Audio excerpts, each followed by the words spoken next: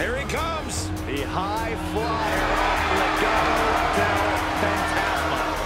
And his opponent, representing Legado del Fantasma from Chicago, Illinois, weighing in at 175 pounds, Joaquin Wilde.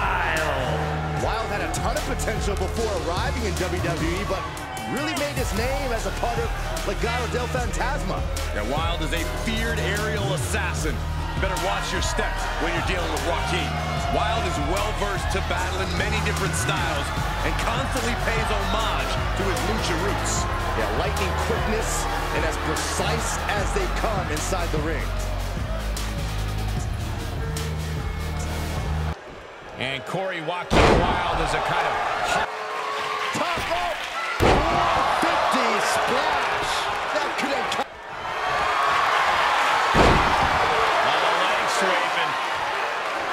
Oh my God! At. Joaquin Wilde with the wild thing. Can Wilde close things out? Two. And that's all she wrote. Here's your winner, Joaquin Wilde. No other way to put it, guys. That was kind of a butt kicking. That's what they call light work, Cole. Barely even broke a sweat.